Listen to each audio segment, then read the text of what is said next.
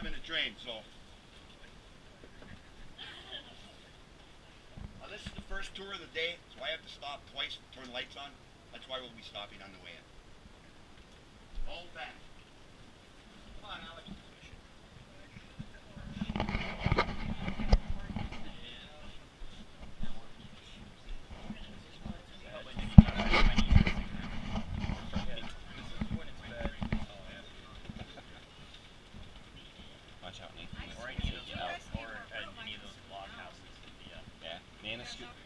scooted down.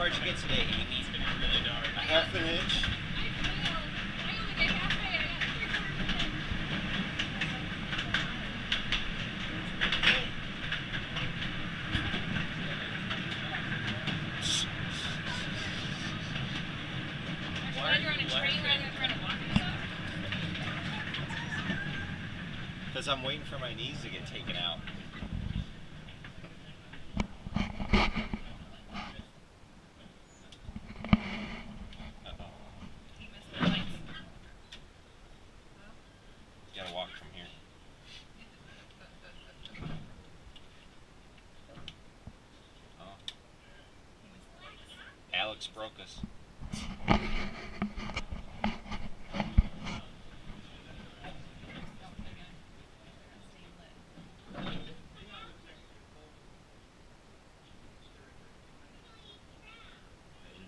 She's killing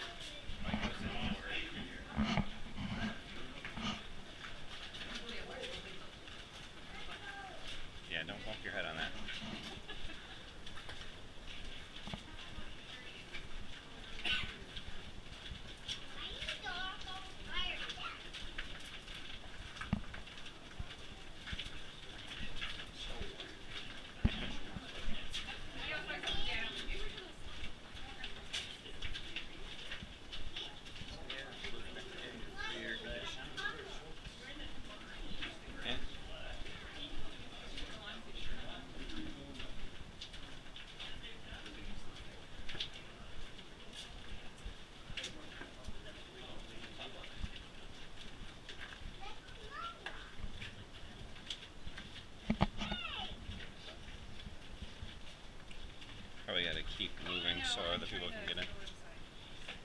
Okay, folks, if you notice the shape of the tunnel, half moon, even back those, even back in the eighteen hundreds, you realize equal pressure, half moon as opposed to flat walls and flat ceiling. Now, when the mine first opened, this is how it went. On the end of this, is a diamond bit. One miner would stand here, hold this against the wall. One miner on the right, one miner on the left. Swinging twenty-four palm sledgehammers. Every time this was hit, the miner standing here would turn it an eighth of an inch. Inch a day was considered a good day in the mine. In nineteen twenty-two, this came into the mine, water line drill, run by compressed air, to do the work of twenty men. Keep in mind, they had to drill thirteen holes, four feet deep, every time before they blasted. This here, of course, was much quicker. All the miner had to do was stand back here, and keep a little pressure on it, and drill into the wall. Once they got in areas this size, it'd be nothing for 10, 12 of these to be running at a time, miners were going deaf. Miners were also going blind. All they had for light at first was candles. This many of these drilling in one area caused a lot of dust. Miners would breathe this dust in, come down with and die from black lung. The man who designed it pulled it back off the market, redesigned it. What he did is he punched a little tiny holes through the